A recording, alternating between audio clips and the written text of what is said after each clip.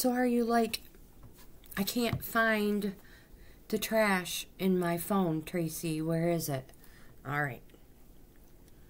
Go to your Photos app. That one right there. And then you see down at the bottom,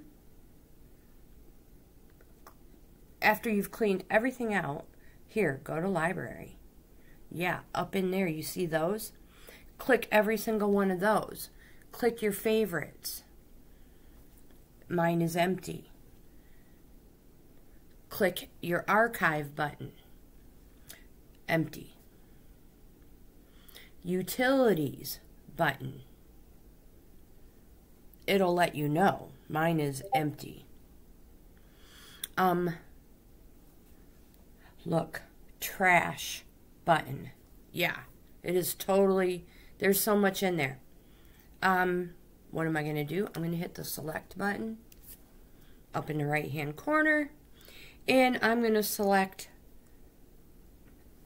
down here at the bottom you can either restore any of them that you choose but um, I always download them into my computer and then from that point I will save them or delete them and here delete all. I'm going to delete them all.